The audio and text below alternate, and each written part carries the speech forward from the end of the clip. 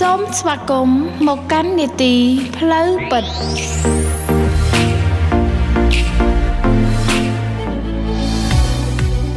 សូមជម្រាបសួរទៅដល់ប្រិយមិត្តដែលកំពុងតាមដានស្ដាប់វិទ្យុគ្រួសារ FM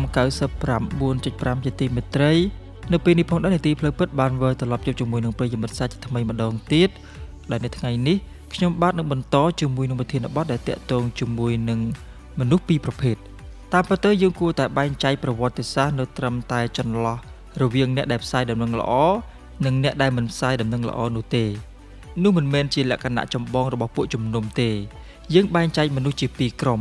គឺអ្នកដែលស្ដាប់ព្រះបន្ទូលនិងអ្នកមិនស្ដាប់ព្រះជាម្ចាស់ហើយដូច្នេះហើយបានជាលោកម៉ាថាយបានប្រាប់ពីអ្វីដែលព្រះយេស៊ូវបានមានព្រះបន្ទូលទៅកាន់សាតាំងថា មនុស្សរស់ដោយសារគ្រប់ទាំងព្រះបន្ទូលដែលចេញពីព្រះអស់របស់ព្រះដែរ ហើយគាត់ក៏បានប្រាប់ពីព្រះបន្ទូលចុងក្រោយដែលព្រះយេស៊ូវមានបន្ទូលទៅកាន់សិស្សរបស់ទ្រង់គឺឲ្យពួកគេទៅបង្កើតសិស្សនៅគ្រប់ទាំងសាសដោយធ្វើបុណ្យពិធីជ្រមុជទឹកឲ្យពួកគេព្រមទាំងបង្រៀនឲ្យពួកគេកាន់តាមគ្រប់ទាំងសេចក្តីដែលខ្ញុំបានបង្គាប់មកអ្នករាល់គ្នាផងហើយដូច្នេះហើយបានជាលោកម៉ាកុសបានប្រាប់ពីរឿងព្រាបប្រដូចរបស់ព្រះយេស៊ូវ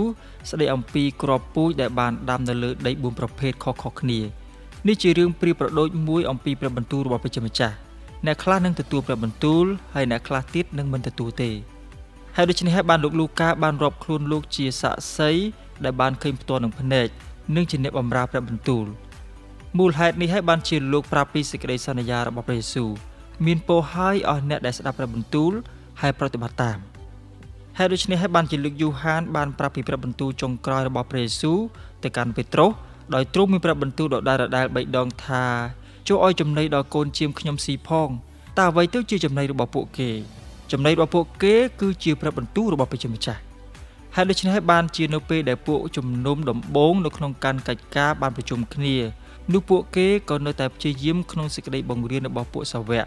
ហើយក្នុងសេចក្តីប្រកបគ្នាព្រមទាំងការកាច់នំប៉័ងនិងសេចក្តីអធិដ្ឋានផង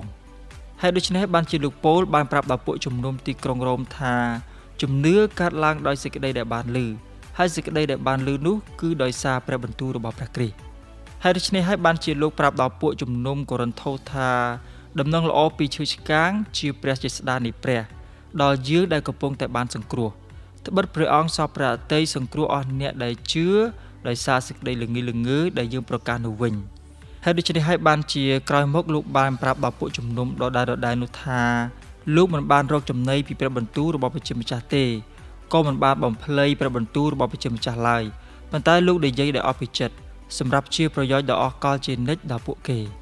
ហើយដូច្នេះហើយបានជាលោកប្រាប់ដល់ពួកជំនុំនៅស្រុកកាឡាទីថាបើអ្នកណាប្រាប់ដំណឹងថាខអំពីដំណឹងល្អដែលអ្នករាល់គ្នាបានទទួលហើយនោះឲ្យគេត្រូវបណ្ដាសាចុះហើយដូច្នេះបានលោកពលប្រាប់ដល់ពួកជំនុំទីក្រុងអេផេសូថានៅក្នុងព្រះអង្គអ្នករាល់គ្នាក៏បានលើព្រះបន្ទូលនៃសេចក្តីពិត គឺជាដំណឹងល្អអំពីសេចក្តីសង្គ្រោះសម្រាប់អ្នករាល់គ្នាលោកក៏បានប្រាប់ពួកគេផងដែរថាព្រះជាម្ចាស់បានប្រទានឲ្យអ្នកខ្លះធ្វើជាសាវកអ្នកខ្លះជាហោរាអ្នកខ្លះជាអ្នកផ្សាយដំណឹងល្អអ្នកខ្លះជាគ្រូកងវិលហើយអ្នកខ្លះជាគ្រូបង្រៀនដើម្បីឲ្យពួកបរិសុទ្ធបានគ្រប់លក្ខសម្រាប់កិច្ចការបម្រើហើយស្អាងព្រះកាយរបស់ព្រះគ្រីស្ទឡើងរហូតដល់យើងទាំងអស់គ្នាបានរួបរวมនៅក្នុងជំនឿ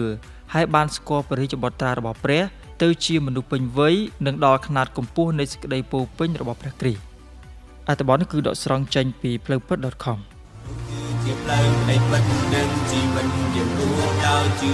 សូមអរគុណប្រិយមិត្តដែលបានតាមដានស្ដាប់នាទីផ្លូវពិតតាំងពីដើមរហូតដល់ចប់ដោយសារតែពេលវេលាយើងបានមកដល់ហើយហើយនាទីផ្លូវពិតសន្យាជួបជាមួយនឹងប្រិយមិត្តនៅពេលក្រោយទៀតគណៈពេលនេះវត្តមានខ្ញុំបាទចន្ទថាសូមអរគុណសូមព្រះប្រទានពរ